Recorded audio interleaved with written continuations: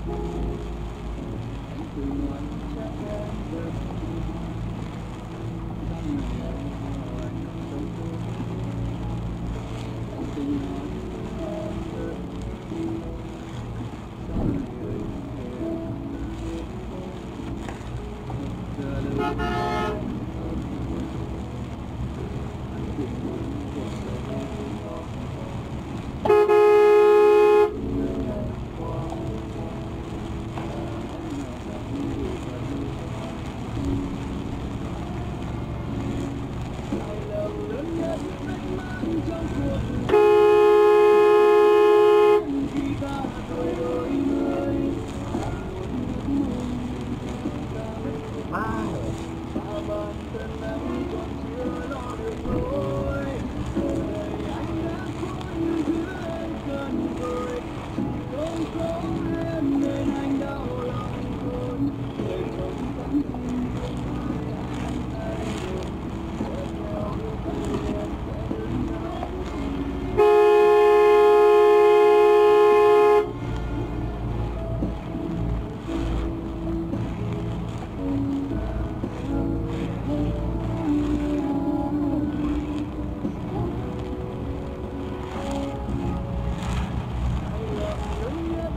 con ốc chó để cũng người mà con.